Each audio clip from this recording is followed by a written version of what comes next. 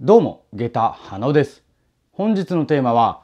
公開中、水死体を見つけたというテーマでお話をさせていただきます。はい。えーと、まあね、毎日投稿来ておりますが、まあその中でもね、あの、なんかこのすごい臨場感があるというか、えーと、投稿者さん、えー船に乗って、えお仕事をされている方なんですけれども、その方から投稿が来ましてですね、え今、この投稿を書いていますが、実は数時間前に、えー海の航海中でね、海面で、えーご遺体を見つけましたと。はい。えーなので、まあ本当にその現場を目の当たりにしてすぐに、えーこの火葬場祈壇にね、投稿してくださってるみたいなんですけれども、で、自分は、えーすごい初めてだったと、えーそういう現場を見たのが。で、えそこの海域というのは、えすごく潮の流れが速いと。で、あの、見てる時間って本当あの、十数秒とか、えぐらいだそうなんですよ。で、なんだけれども、えーまあ実際にそれを見てですね、ただ自分自身はちょっと半信半疑、え、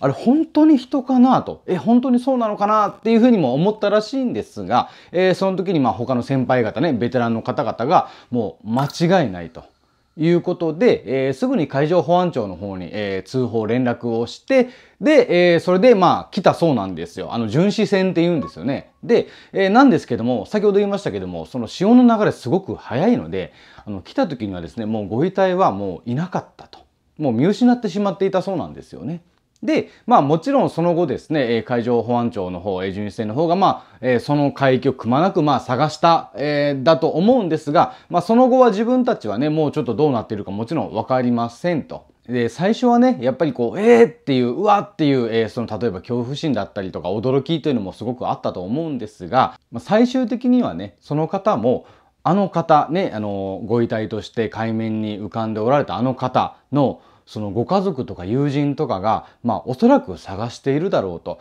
で、できることならね、早くそのご家族だったりご友人だったりの方々のところに、えー帰れたらいいのになっていう気持ちが、あの、すごく強くなってきましたと。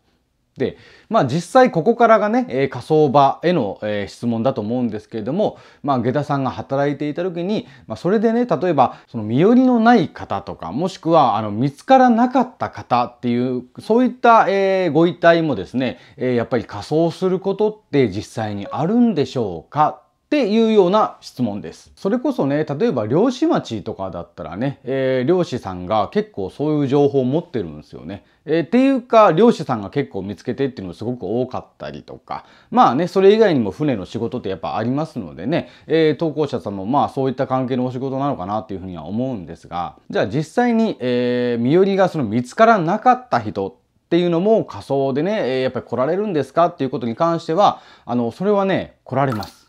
はい。まあなんだけれども、まあ結局ね、その状況によるんですよ。あの、探していないっていうパターンあるんですよ。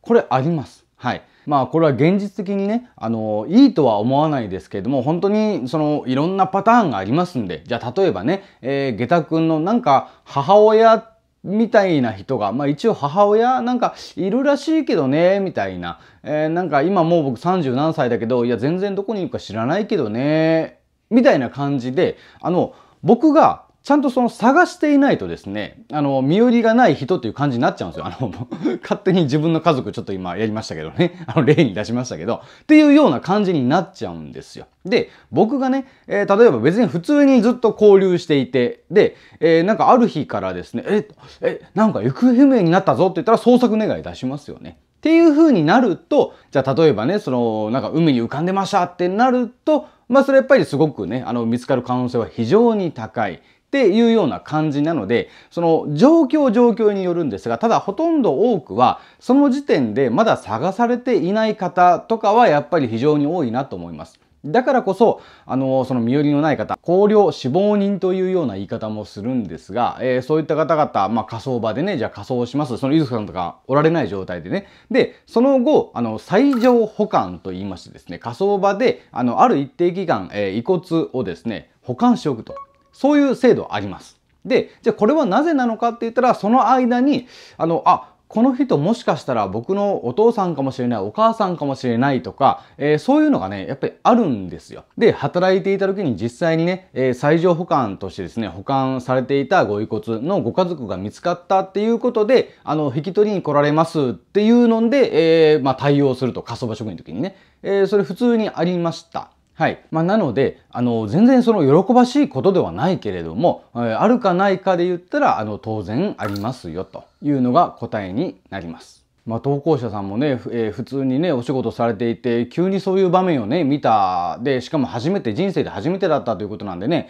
あの、やっぱりご自身が思う以上にね、こう、ちょっとショックを受けているっていうのもあると思いますのでね、あの、その投稿にもね、文章にも書いてましたけれども、今その海面をね、まあその時もだから船の上なんですよ。で、そその中で投稿してくださってるんですが、今海面を見ても、ちょっと鳥肌が立つと。えー、いうふうに言ってましたからね。まあ、あの、その投稿してくれた日からは今何日か経っているんでね、えー、だいぶ落ち着かれてるかなというふうには思うんですが、まあでもね、あの、それこそ投稿者さんが見つけてくれたおかげで、えー、その今、その時海面で漂っていたその方は、えー、家族のもとへ帰れるかもしれません。はい。えー、なので本当にその方もですね投稿者さんにすごく感謝しているんじゃないかなっていうふうに僕は思います。はい。ということで本日は、えー、水死体を見つけたということでね、えー、なんかすごく非常に臨場感のあるというか、えー、投稿でございました。